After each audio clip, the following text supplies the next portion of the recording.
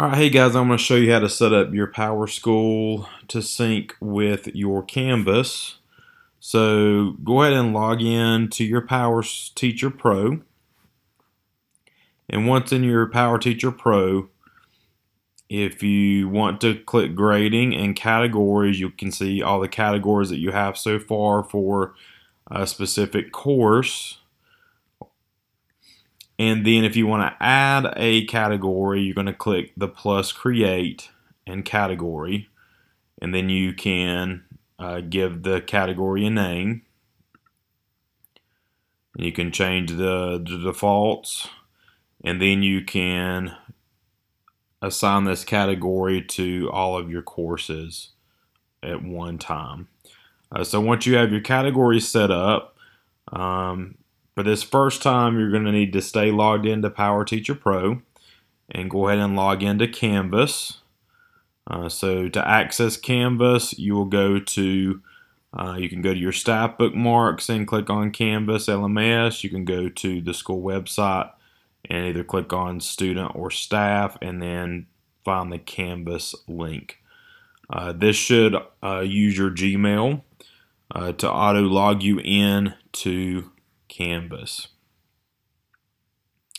So once you're logged into Canvas, it probably will look similar to my dashboard. It will have all of your courses listed. And I went ahead and kind of fixed my courses on my dashboard so that so that it doesn't show every single course I have for the year. So if you want to change that up a little bit and so that it only shows on your dashboard uh, your current courses, then click on the courses button, and then click all courses, and then you'll put a uh, put a star or highlight the star on the courses that you want to show up on your dashboard. And you can change this later um, if uh, you just want to show first semester courses you can see this says S1. So all my S1 courses I have starred so that they'll show up on my dashboard. And so if second semester starts, you can come in again, unstar uh, first semester, and then star your second semester courses. You can also change the name um, of these courses uh, for your view so that you can distinguish what they are because um, by default it will name them uh, how they're in PowerSchool uh, along with the course number or course ID and that's how it has to be uh, to sync with PowerSchool. So if you want to change this name for you, click the three little dots in each course tile and then you can You can type in a name that you would like. You can also change the color or the background. And in that way, it gives it a nickname so you can easily distinguish um, what it is. Okay, so I'm going to go and click in one of my courses so I can show you how to set up your uh, categories first. Um, so what you need to do is go ahead and in that course click assignments and then you're going to click the three little dots up here in the very upper right hand corner and then you're going to click import assignment groups. And then you're going to click add. And this is a, this isn't automatic so don't think that it's going to automatically import your course or your course categories.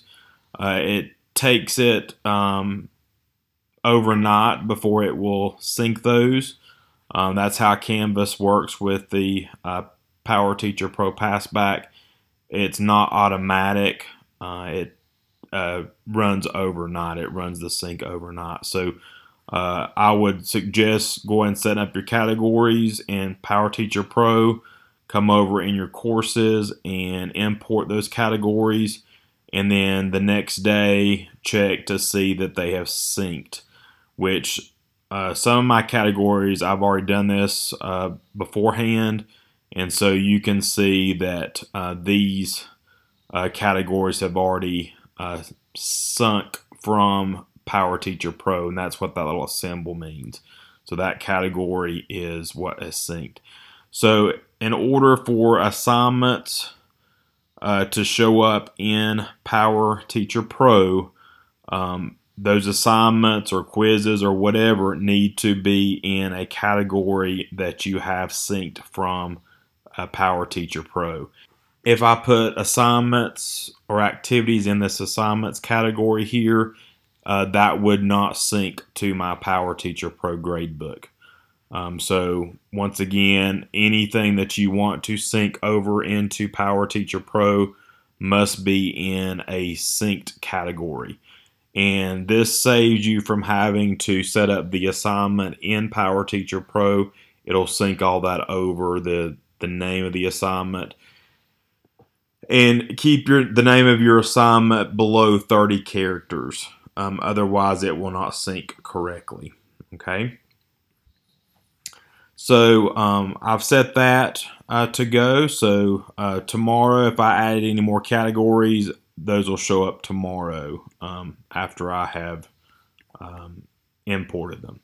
Another thing you might want to think about doing uh, to make it easier for you is in your course menu, um, scroll down to see Grade Sync. And this is a log. This reporting is a log, or actually the status of your sync. So if you have any errors or anything with it syncing grades, then it's going to show you and you can click on it and see what the, the error was so you can fix it.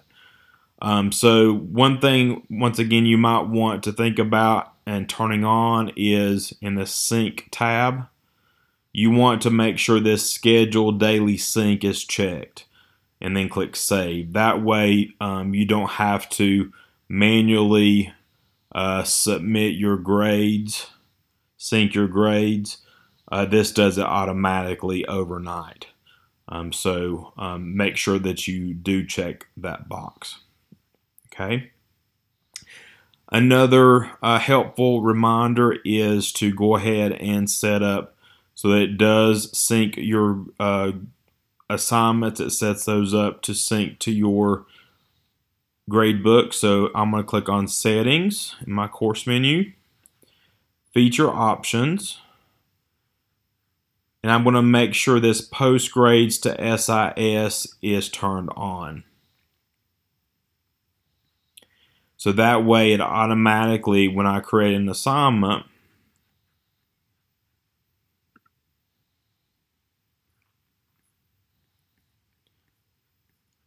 They include this assignment's grades when syncing to student information system. That's basically saying it's going to sync this grade to Power Teacher Pro. It automatically checks that box. So if, for instance, you don't want a grade to sync over to Power Teacher Pro, then you can uncheck that box.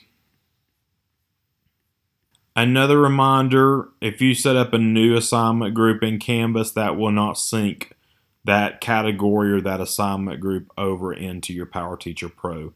You have to do it within Power Teacher Pro and make sure that you import assignment groups like we did in the first step in order for it to sync your assignment groups. Also, if I didn't put the assignment in the correct category, um, you can move these, move your assignments around by uh, dragging and dropping. So that is how you can set up your Power Teacher Pro to sync with Canvas. And I think this will make it a whole lot more efficient for the teacher so that you can do everything in Canvas and not have to worry about doing some double entry. Uh, and then all you have to use Power Teacher Pro for is to do your attendance and also to finalize your grades when it comes report card time.